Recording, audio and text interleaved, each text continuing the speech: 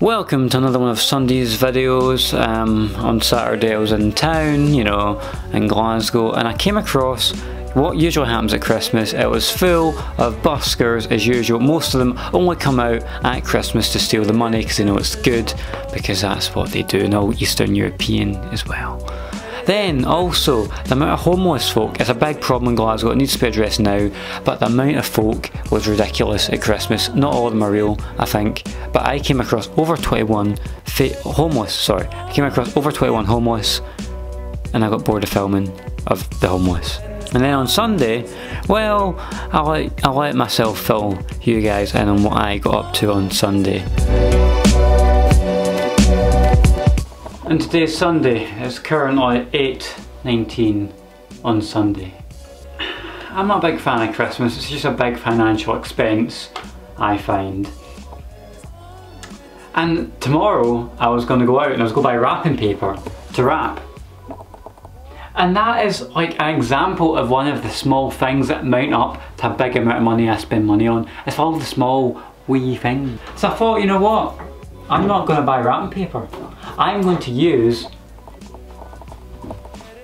whatever I can find. Let's begin.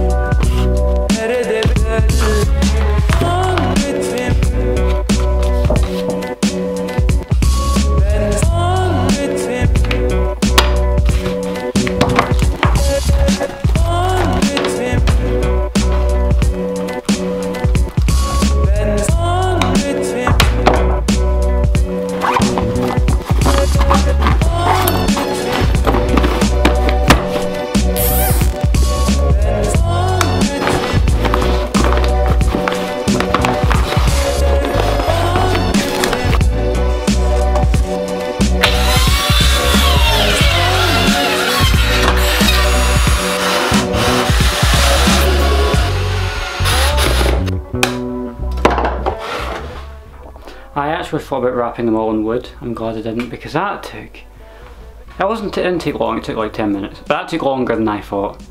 And that one's for James. James hasn't watched my channel.